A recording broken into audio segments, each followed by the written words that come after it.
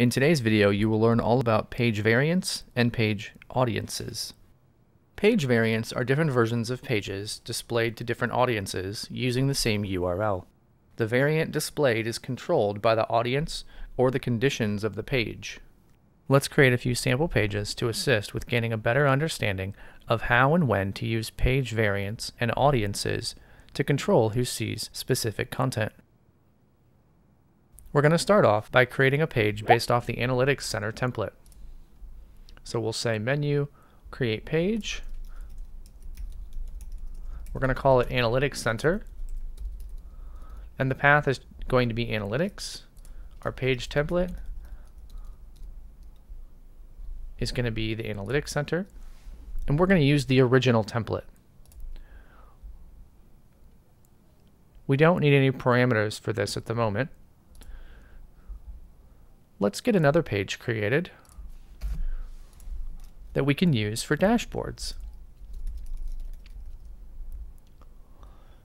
This page template will be based off the dashboard.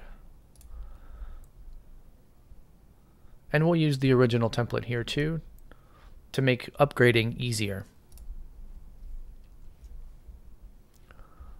I'm going to create a required parameter for a sysid We'll say save. All right. Let's use the page selector and go back to our travel request form. We now have a couple of sample pages that we can use when talking about audiences. Let's take a look at some page conditions. Clicking on the variant options, I'm going to select edit conditions, and you can provide an encoded query here on which the page should display.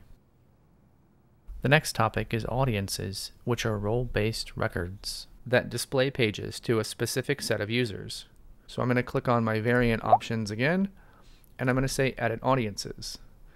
I created a couple of sample audiences for this demonstration. So I'm going to say travel. So I have two options, travel managers and travel users.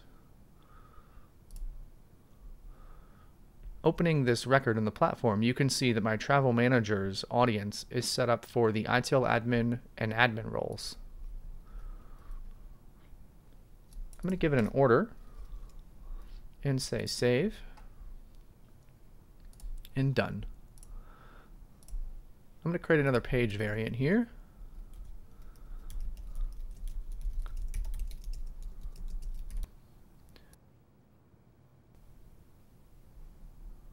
Now that my variant's been created, I can very quickly add audiences or set conditions, as well as use ACLs to access the page. So I'm going to add an audience for my users.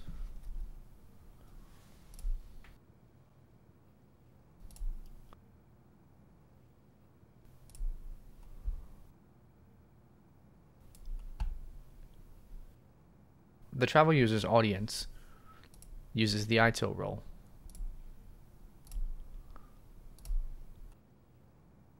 Now I can configure this page and add a header and a list, but maybe I'll leave off the reports for users.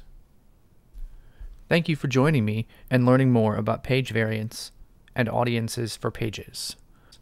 Hopefully you have a better understanding of how to create and add audiences to pages.